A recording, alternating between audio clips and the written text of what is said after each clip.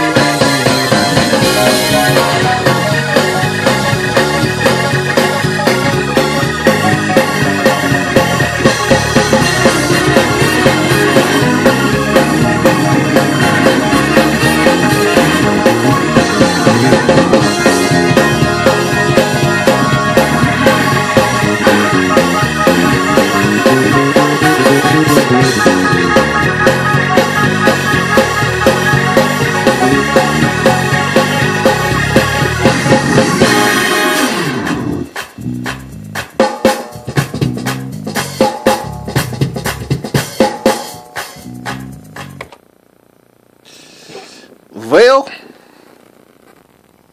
Key Beats, I'm out.